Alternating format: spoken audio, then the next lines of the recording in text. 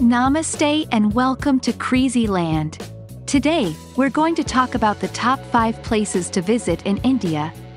India is a land of diverse culture, rich history, and breathtaking landscapes. So, let's start with our list of the best places to visit in India. Number 1 on our list is the Taj Mahal, located in Agra. It's a mausoleum built by Mughal Emperor Shah Jahan in memory of his beloved wife, Mumtaz Mahal. The monument is made of white marble and is one of the most famous and recognizable landmarks in the world. Number 2 is the Golden Temple, located in Amritsar. It's the holiest temple in Sikhism and is known for its stunning architecture and serene atmosphere. The temple is made of gold and is surrounded by a man-made lake, making it a peaceful and tranquil place to visit.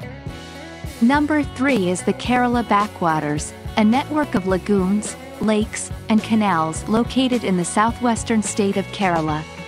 The backwaters are a peaceful and serene escape from the hustle and bustle of India's cities, and visitors can take a houseboat tour to experience the natural beauty of the region.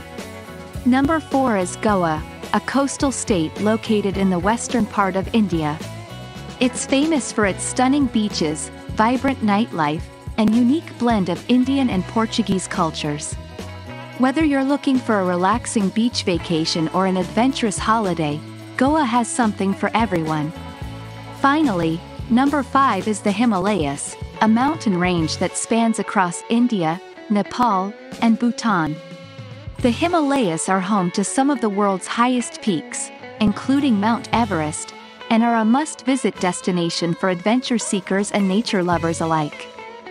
So that's our list of the top 5 places to visit in India. Whether you're interested in history, culture, or natural beauty, India has something to offer everyone. So, pack your bags and come explore this incredible country. Thanks for watching, and don't forget to subscribe to CreazyLand for more travel content.